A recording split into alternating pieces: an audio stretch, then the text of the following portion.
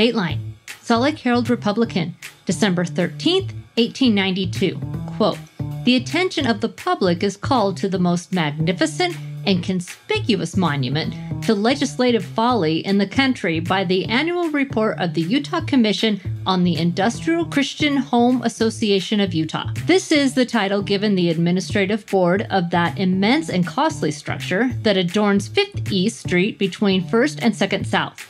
It was erected by the government several years ago at a cost of some $50,000 at the suggestion of several female agitators who made it appear to Congress that a refuge for the victims of polygamy was one of the crying needs of this time. That the institution has been a dismal failure from the onset has been apparent to anyone who has passed the building and noticed its deserted aspect. But the best proof of its collapse is supplied by the above mentioned report. It has shown that the average number of inmates has been 7 women and 13 children, and the total cost of supporting the institution was $3,995.33. The appropriation was $4,000, leaving a balance of $4.67. The Commission conceded that this institution has not been as successful as was hoped by its friends, but its success was solely dependent upon the number of those who might accept its charities, but very much dependent upon its more effect. End quote. I'm Wendy. This is Demolished Salt Lake and the story of the Women's Industrial Christian Home. Hello, and welcome to episode 15. This story has a bit of everything controversy, tragic death, gambling, drinking, police raids, and a feud between a mayor and the chief of police. It's safe to say that this building was doomed from the start, but it makes for great history. All right, let's get talking about it. It was November 1878 in Salt Lake City, and the second meeting of the Gentile Ladies of Salt Lake took place at the Congregational Church with about 100 women in attendance. The women voted to change the name to the Women's Anti Polygamy Society of Salt Lake City, Utah, and set their objective to, quote, plan and execute such measures as shall, in the judgment of its members, tend to suppress polygamy in Utah and other parts of the United States, end quote. They worked hard to spread their anti polygamy sentiment. In 1880, the society got a major boost when Mrs. Angie F. Newman, a Methodist from Lincoln, Nebraska, joined their crusade. After giving a lecture entitled The Mormon Monster about her stance on polygamy, it was proposed to build a place where polygamous wives could find shelter until they found a new home. She stated that if such a facility existed, more women would, quote, escape from polygamy and its attendant evils to young Mormon females who would otherwise be held in the bondage of the system, end quote. She secured $3,000 from the Women's Home Missionary Society, and with the support of First Lady Mrs. Rutherford B. Hayes, she managed to raise another $6,500 by November 1883. In 1886, the Anti Polygamy Society changed their name to the Industrial Christian Home Association of Utah, with Mrs. Newman at the helm. She took her case and letters of endorsement from the Women's Home Missionary Society, Women's Christian Temperance Union, and the Presbyterian Missionary Society, and Nebraskan Governor James Dawes to Washington, D.C. to ask for $100,000 to build and equip a home. There, she found an ally in Senator Henry Blair of the Committee on Education and Labor. In August of 1886, he worked to have Congress tack on an amendment to the Sundry Civil Bill, which was a spending bill, to provide $40,000 for her home. In November of that same year, a two story house with a detached cottage was rented. In a report one year later, it was disclosed that from December 1886 to November 1887, the home received nine women and 19 children. Mrs. Newman asked for further aid from Congress and received $40,000 in February of 1888 and another $32,000 a couple months later. All that was a grand total of $112,000. In addition, $4,000 per year was appropriated for the home's upkeep. With the proceeds in hand, the association purchased a lot at 145 South, 500 East in downtown Salt Lake City and proceeded to construct the Women's Industrial Christian Home, at the cost of about $50,000. Let's take a minute and talk about this building. It was massive, ornate, and really stunning. The architect was Henry Monheim. He is credited with building the Fremont School in 1890, All Hallows College in 1885, and St. Mary's Academy in 1875, all of which are now demolished, as well as numerous private homes. But his crowning achievement was the Salt Lake City and County building, designed with partners Proudfoot and Bird.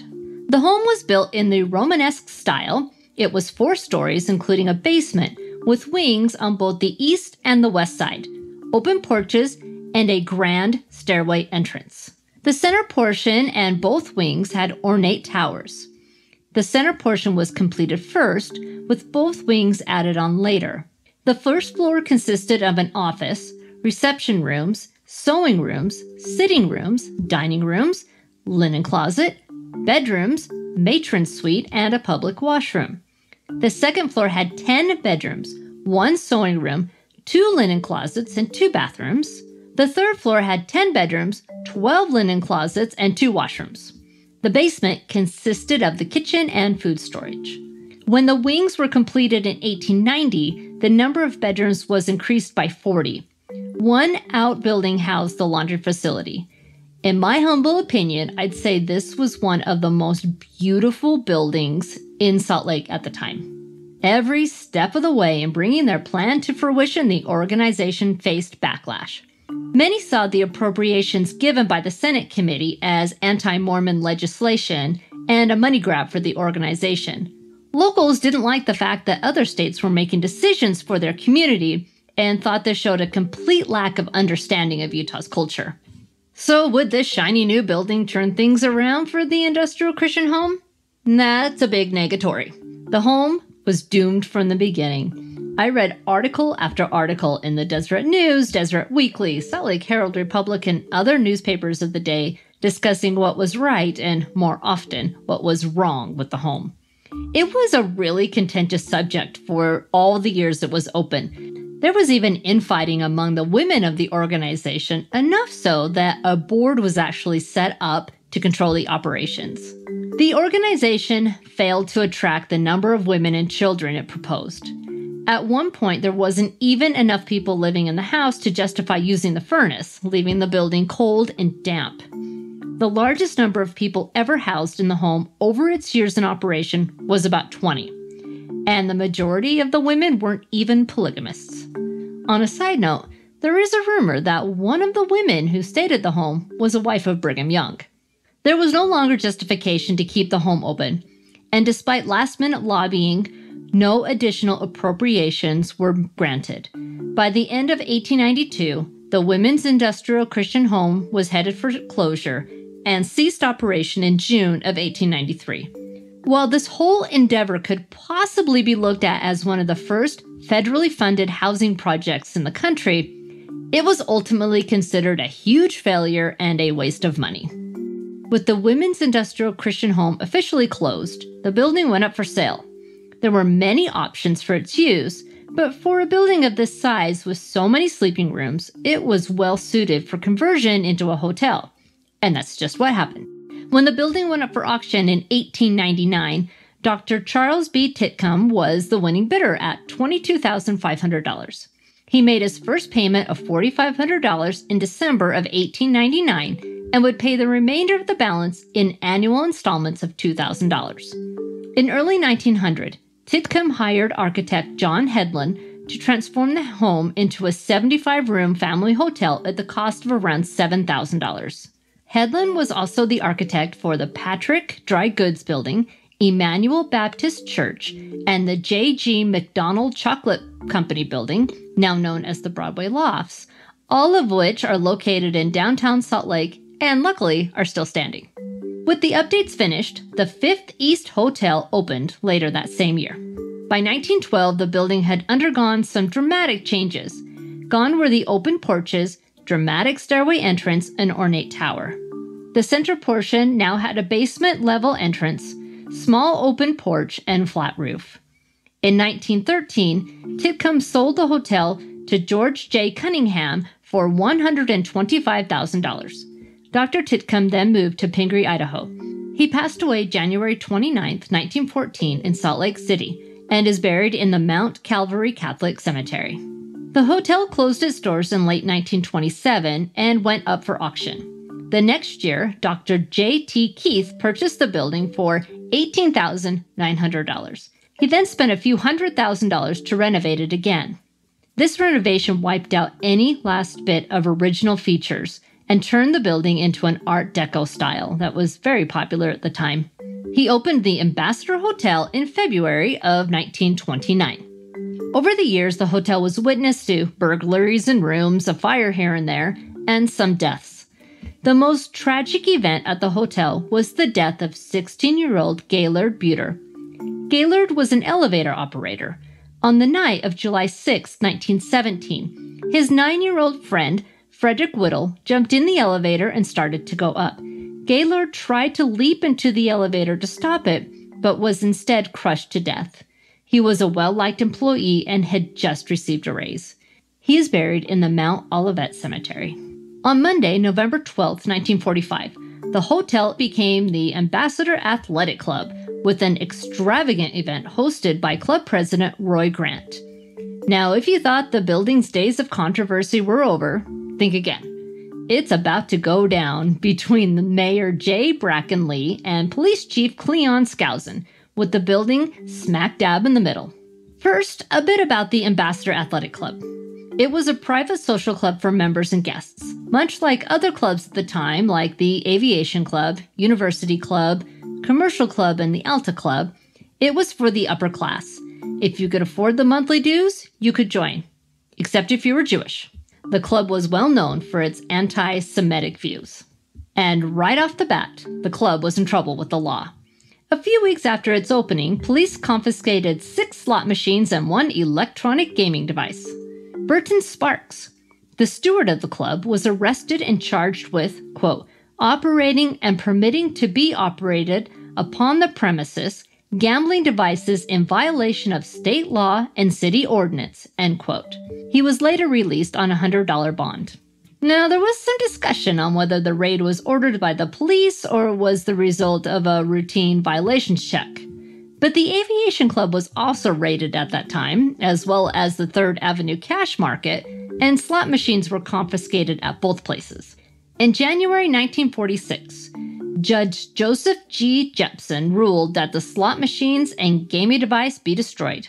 An article in the Salt Lake Telegram stated that the slot machines, quote, paid the death penalty, being reduced to a pile of rubble under the direction of County Deputy Sheriff Elmer Savage. End quote. Any money found in the machines was taken by the county attorney's office. Now, this would not be the last time the club was raided. And the next one was a doozy and set off events that had the whole city in an uproar. But first, let's talk about liquor lockers. The Ambassador Club and other clubs of the day kept what was called liquor lockers, where members stored personal bottles of liquor. When one wanted a drink, staff would go to their locker and pour a drink from their personal stash. In actuality, there was no such lockers. Members could get any drink they wanted at any time they wanted. In April of 1949, Attorney General Clinton D. Vernon filed a suit with the district court challenging the legality of the locker system. He stated that state liquor laws did not permit the operation of the locker system in clubs in Utah. The court disagreed and in 1950 found the clubs could continue to use the locker system as they were not organized for the sole purpose of evading Utah liquor laws. Vernon filed an appeal with the Utah Supreme Court, and in 1951, the court unanimously ruled that the locker system used in the club was indeed legal. The club may have lost the battle for gambling, but they won the battle for liquor. Okay, now back to the Lee Skousen controversy. Mayor Lee and Police Chief Skousen did not see eye to eye on how police should be enforcing the law. Lee wanted Skousen to leave private social clubs like the Ambassador, as well as other bars and gentlemen's clubs, alone and concentrate on keeping the public safe. This was probably because Lee was a member of some of the said clubs. The feud between them went on for months, and it was down and dirty. It all came to a head on the evening of March 19th, 1960. Tales of the events that took place that evening have police busting through doors, blowing their whistles, everyone screaming and scrambling to flee the building to avoid arrest, and even Mayor Lee taking cover in a phone booth to evade the police. While I do like the visual this story conveys, in reality, it wasn't dramatic at all. What did happen was the police claimed to receive a phone call about gambling going on at the Ambassador Club. So they went to the club and found the club owner, who then admitted to the gambling. But guess who was at the club that evening? That's right, none other than Mayor Lee himself. Lee accused Skousen of arranging the phone call, claimed the gambling was innocent, and considered the raid a frame up by Skousen. Lee quickly secured the support of the city commission and fired Skousen the next week.